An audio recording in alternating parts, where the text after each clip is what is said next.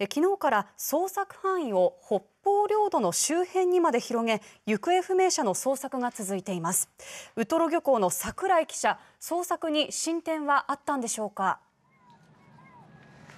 はい、えー、斜里町の、えー、ウトロ漁港です、えー、斜里町のウトロもですね、えー、今日はかなり気温が高くなっていて、えー、強い日差しが、えー、照りつけています、えー、そして風は吹いているんですが、えー、ご覧のようにですね、えー、波は静かな波になっています、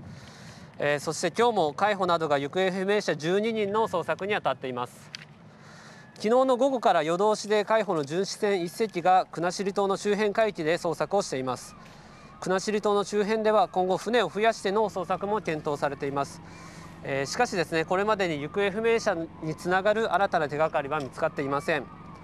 えー、こうした中より高性能の水中カメラを載せた民間の船が午後3時時点で積丹町の沖を航行していて明日午後にも現場の海域に到着しますえさらに今月中旬には観光船「カズワンが沈む深さ120メートルの海底に潜ることができるダイバーによる捜索も予定されています。え観光船「カズワンですが、え運航する際にルート上の定められた時点で定期的に連絡することが運航基準に定められています。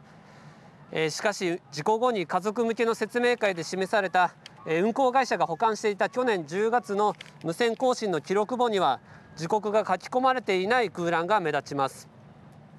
えー、そしてこちらなんですがえその記録簿に書かれている日付と同じ、え去年10月24日に別の観光船から撮影された「カズワンの映像です、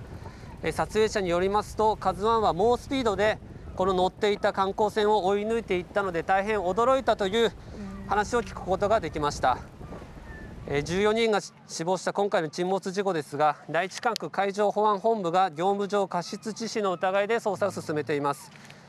過去の無線更新の記録簿は運航会社の関係先への家宅捜索で押収されている可能性がありずさんな運航管理が今回の沈没事故につながったか詳しく調べているとみられます。